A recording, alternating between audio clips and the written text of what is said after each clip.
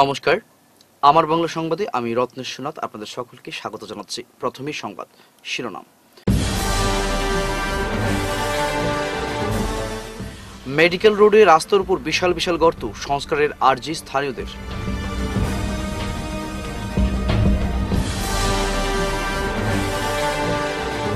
শিয়ালটেক বাজারের গোচারণ ভূমি উদ্ধারের দাবি, ফের সিওকে স্মারকপত্র।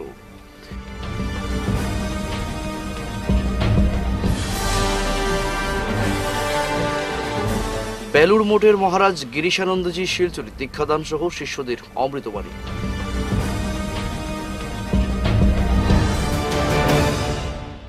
এবারে বিস্তারিত আমার বাংলা সংবাদ। শিলচর মেডিকেল রোড দুর্গাপল্লীর সামনে রাস্তার উপর বিশাল আকারের গর্ত দেখা দিয়েছে। প্রাণের ঝুঁকি নিয়ে চলাফেরা করতে হচ্ছে লোকেদের। দিনরাতে রোগী নিয়ে এই রাস্তা দিয়ে মেডিকেল যেতে হয়। অনেক গাড়ি এই বিশাল গর্তের মধ্যে উল্টে পড়ে যায়। অনেক যাত্রী আহত হন। এতে প্রাণের ঝুঁকি নিয়ে চলাফেরা করতে হয় গাড়ি চালক সহ পথচারীদের। কিন্তু স্থানীয় বিধায়ক তথা সাংসদ এই রাস্তার জন্য কোনো পদক্ষেপ গ্রহণ করেননি বলে অভিযোগ স্থানীয় ভুক্তভোগী জনতার।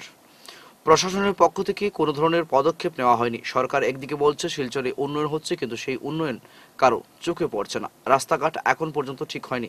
এতে ক্ষোভ ব্যক্ত করে স্থানীয়রা। সংবাদ মাধ্যমের মধ্য দিয়ে স্থানীয় জনগণ অতি সত্বর এই রাস্তার মেরামত করার জন্য দাবি রাখেন জেলা প্রশাসনের কাছে।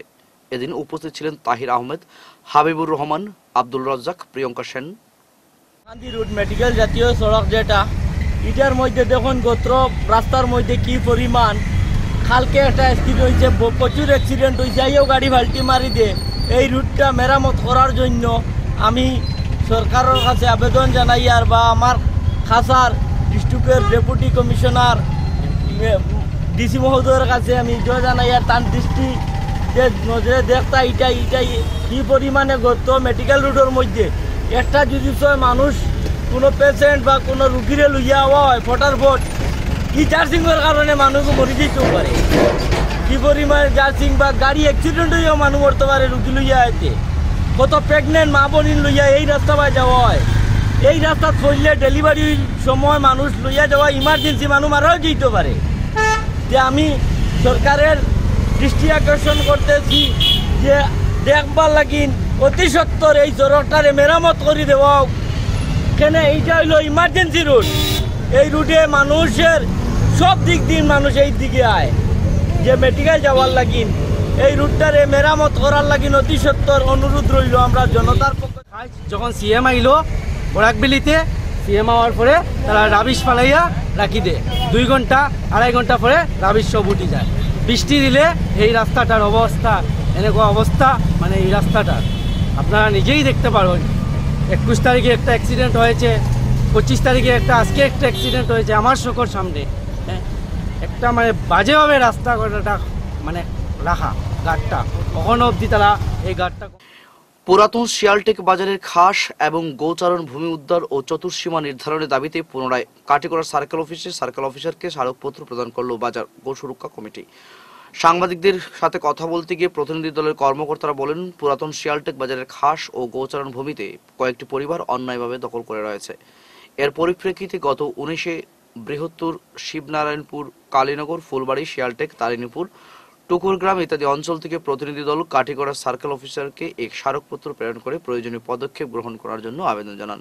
কিন্তু কোনো পদক্ষেপ গ্রহণ না করায় সোমবার ফের স্মারকপত্র প্রদান করা হয়েছে। বর্তমানে রবি শস্য ফসল ক্ষেতের সময়, তাই এলাকার সিংহবাগ লোক ইতিমধ্যে এই খাস ও গোচারণ ভূমিতে হাল চাষ শুরু করে দিয়েছেন। এই এলাকায় হাল চাষ শুরু করার ফলে উল্লেখিত এলাকাগুলির মানুষ গরু, মহিষ, ছাগল ইত্যাদি চড়াতে বিভিন্ন সমস্যার সম্মুখীন হচ্ছেন।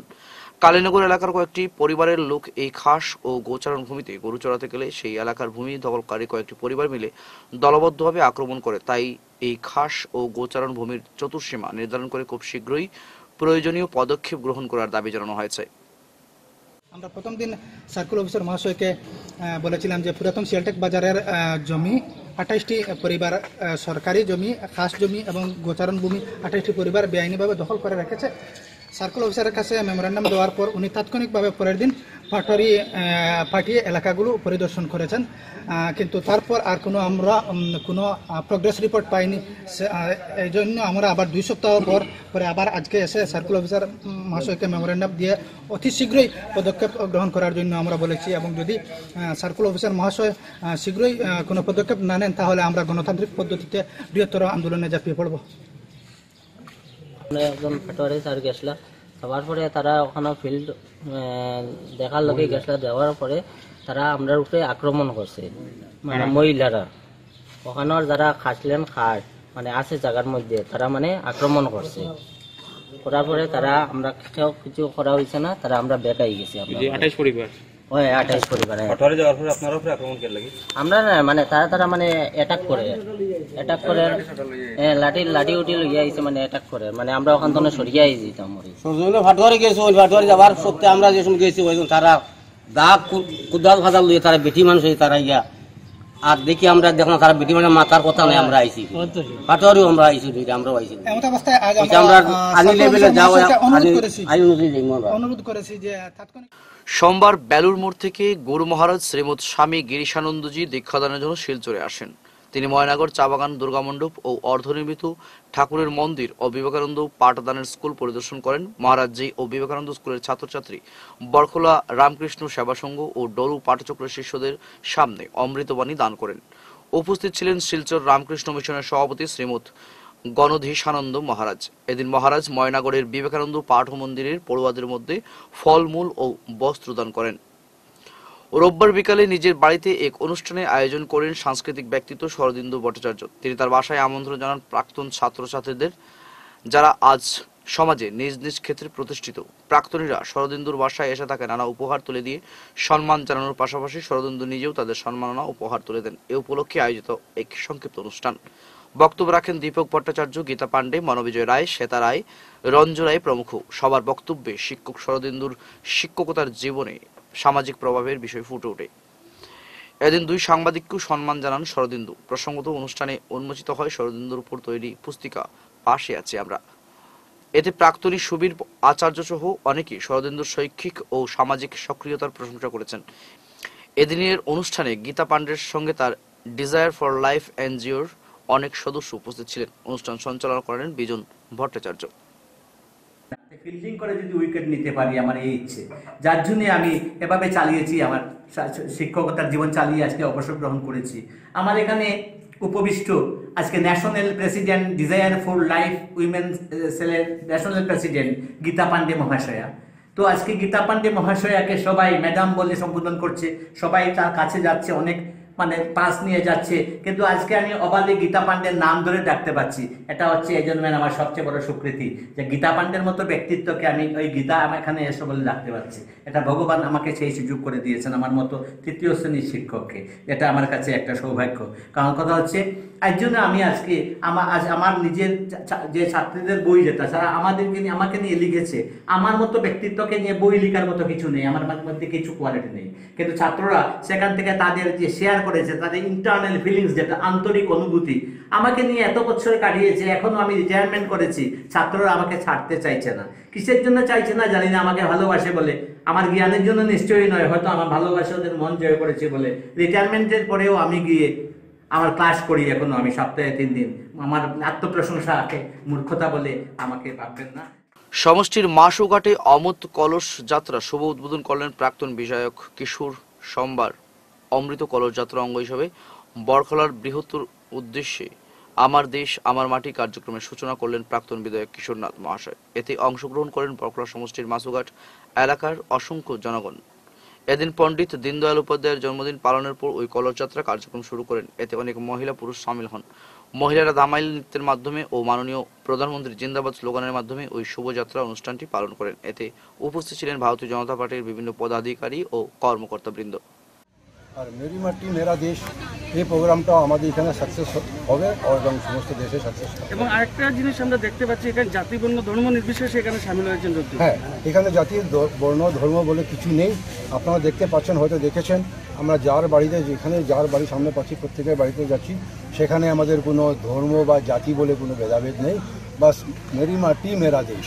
আমাদের দেশের মাটি সব জায়গা থেকে মাটিটা কালেকশন করে দিল্লিতে যাবে আর দিল্লিতে সেখানে গিয়ে একটা অমৃত ভাটিকা একটা তৈরি হবে। এই অমৃত ভাটিকার জন্যই সেই মাটিটা সমস্ত দেশ থেকে কালেকশন করা হচ্ছে।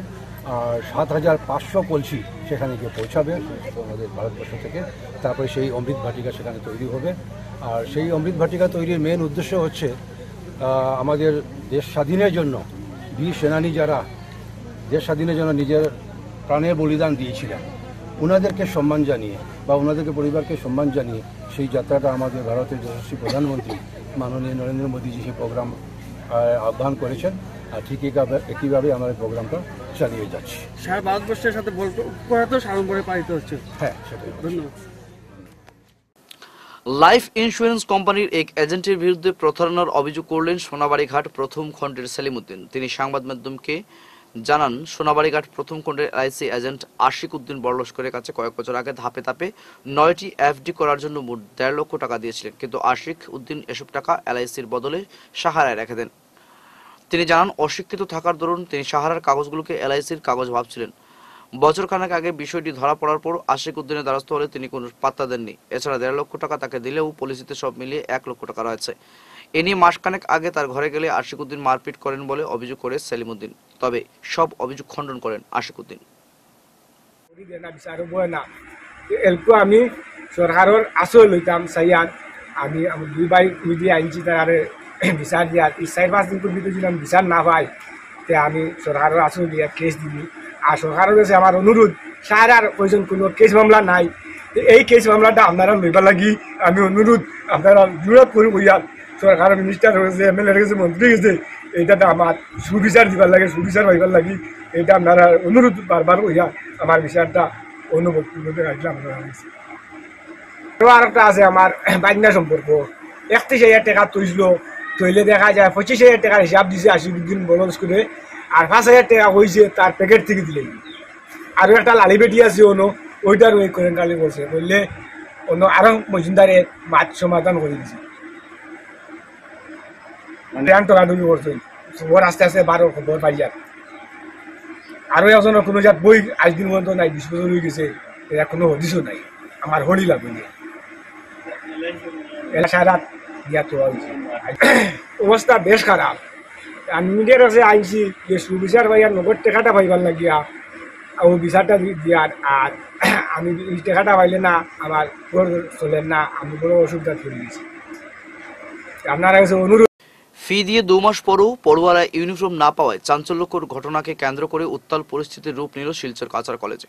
এদিন দিনভর পড়ুয়াদের উত্তাল প্রতিবাদের পর কলেজ কর্তৃপক্ষের কাছে কোনো সদুত্তর না পেয়ে আগামীকাল জেলা প্রশাসনের দ্বারস্থ হওয়ার সিদ্ধান্ত নেন এভিবিপি সহ বিভিন্ন ছাত্র সংগঠনের কর্মকর্তারা। এদিন ছাত্র সংগঠন ও কলেজ কর্তৃপক্ষের দীর্ঘক্ষণ রুদ্ধশ্বাস বৈঠকে বেশ কিছু চাঞ্চল্যকর তথ্য প্রকাশ্যে আসে। ভর্তি চলাকালীন তৎকালীন প্রিন্সিপাল কিরিটিভূষণ দে কার্যকালে রিজলিউশন ছাড়াই গভর্নিং বডি উদ্ঘাটন হয় এবং ওই গভর্নিং বডির কনভেনার ছিলেন প্রফেসর সুদীপ কুমার দাস বর্তমান প্রিন্সিপাল প্রফেসর সিদ্ধান্ত শক্কর নার দায়িত্ব নিয়ে সুদীপবাবুর কাছে লিখিতভাবে রিজলিউশন চেয়েও পাননি এছাড়াও বেশ কিছু গুরুত্বপূর্ণ তথ্যাদি নথিপত্র উদাও কলেজ থেকে বলে বর্তমান প্রিন্সিপাল বৈঠক চলাকালীন বিক্ষুব্ধ ছাত্রছাত্রীকে জানান जो एडमिशन कमेटी है सो कॉल्ड एडमिशन कमेटी जिसका अब तक डॉक्यूमेंट नहीं दिया गया है वो जिम्मेदार है और सिंडिकेट शब्द का जो प्रयोग किया गया है ये उसी लिए है क्योंकि देखिए ये क्या है?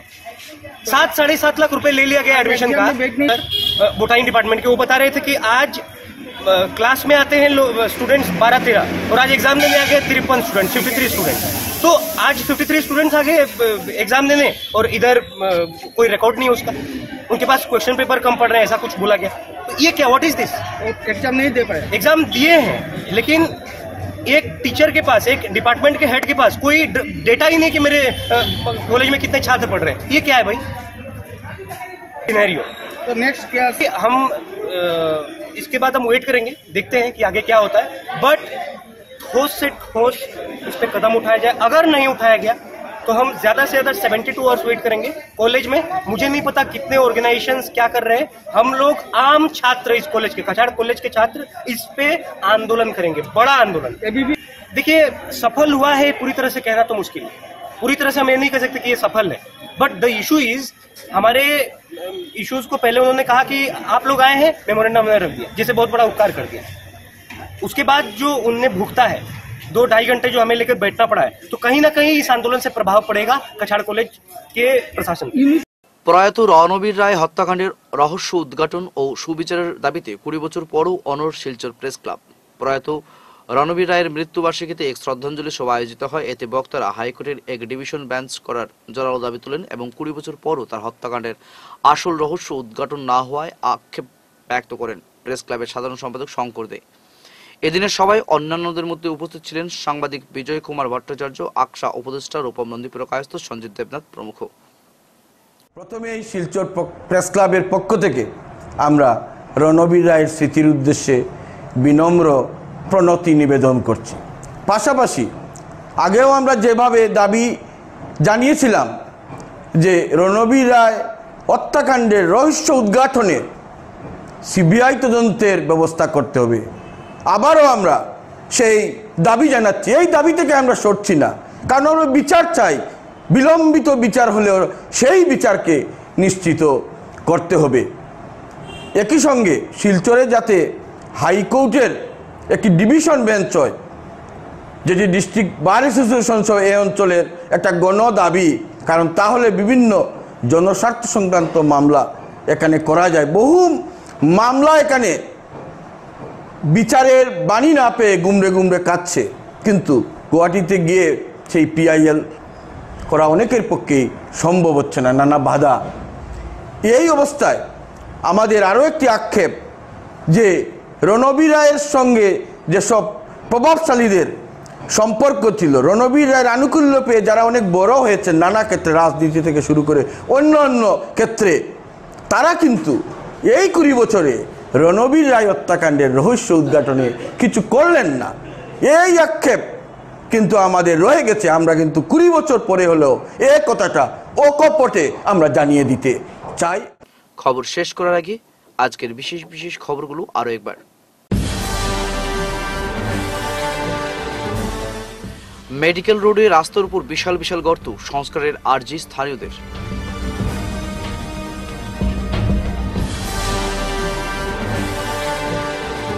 শিয়ালটেক বাজারের গোচারণ ভূমি উদ্ধারের দাবি, ফের সিওকে স্মারকপত্র।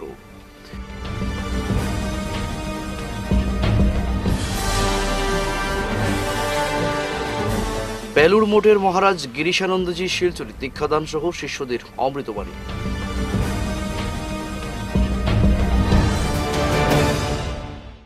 এখনকার মতো আমার বাংলা সংবাদ এ পর্যন্তই।